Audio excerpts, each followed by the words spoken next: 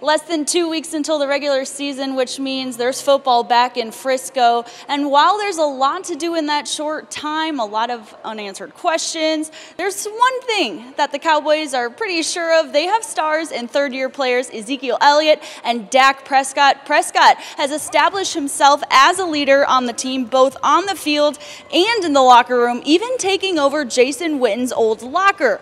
The former rookie of the year, now a voice of the team. I mean, Dak's just doing what he does, man. Um, he just plays football, makes the right throws, makes good decisions, and um, he continue to do that in the game, and he's going to continue to do that um, as, as we go forward. Um, you know, the ceiling is is so high for him, and um, we expect big things out of him, and um, you know, he's going to ball. Dak is the guy QB1, that's obvious, but if we've learned anything lately with these injuries, the next man up must be ready at all times. That man is Cooper Rush, right now at least. Rookie Mike White may push for a third QB roster spot too. You try to evaluate them with what you're asking them to do.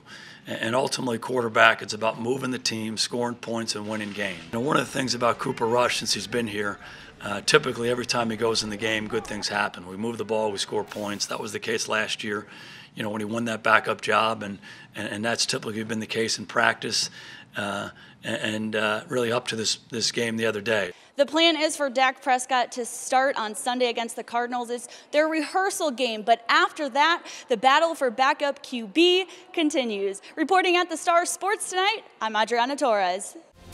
You're watching Sports2Nite, San Antonio's only nightly 30 minute sportscast with exclusive sports coverage you won't find anywhere else.